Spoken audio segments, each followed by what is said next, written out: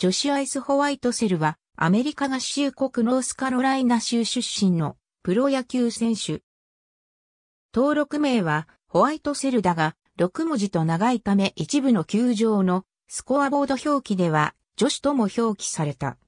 2003年の MLB ドラフト6巡目で、モントリオールエクスポズに指名されて契約。アリゾナダイヤモンドバックス時代2008年に、アリゾナダイヤモンドバックスへ移籍し、マイナーで打率328.26本塁打、110打点、オプス993という好成績を残し、同年9月2日にメジャーデビュー。2010年はナショナルズに復帰したが、メジャー昇格はなかった。ヤクルト時代2010年6月7日に東京ヤクルトスワローズへの入団が発表された。ナショナルズ参加トリプル A 級では2009年に阪神タイガースでプレーしたケビン・メンチとクリーンアップを組んでおり、訪日前にはメンチから日本プロ野球についてアドバイスをもらったとも言われている。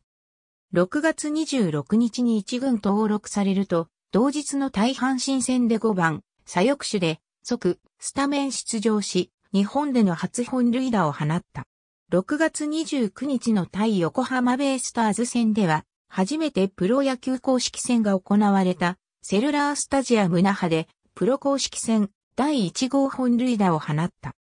同年はシーズンの半分以下である68試合の出場だったものの打率309、15本塁打53打点と結果を残した。特に勝負を決める場面での活躍が多く、勝利打点15は同年全試合に出場した中日ドラゴンズの森野正彦の最多勝利打点18に、あと3に迫るハイペースだった。2011年は、畠山和弘のブレイクにより、出番が減少。シーズン途中からは、自身の打撃不振もあって、控えに回ることが多く、期待されるほどの結果が残せず、11月21日に自由契約選手として公示された。12月28日、千葉ロッテマリーンズへの入団が発表された。2012年、開幕4番で出場し、開幕戦では、初打席で、田中正宏から、先制的自打を含む3安打2打点の活躍で、チームの8年ぶりの開幕戦白星に貢献した。しかし、4月12日の対オリックスバファローズ戦で保守の伊藤光の後頭部に、翌13日の対福岡ソフトバンクホークス戦で同じく保守の細川徹の右肩にいずれもスイング後のバットが直撃し、2試合連続で相手の保守を負傷退場させる結果となった。同時に開幕から10試合で打率237と打撃が振るわなかったため、翌14日に2軍降格となった。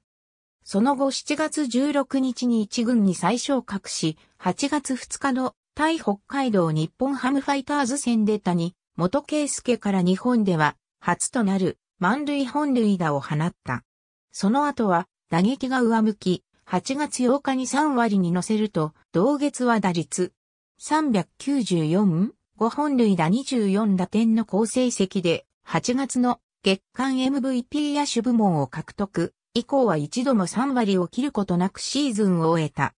2013年、オープン戦は打率326と好調も、開幕戦はベンチスタート。3月31日の開幕2戦目より6番指名打者でスタメン出場。4月5日より4番を務めるようになる。すると4月8日の対東北楽天ゴールデンイーグルス戦にて3打席連続でホームランを放つ。5月4日の対ソフトバンク戦では、保守の細川の頭部にスイング後のホワイトセルのバットが直撃した。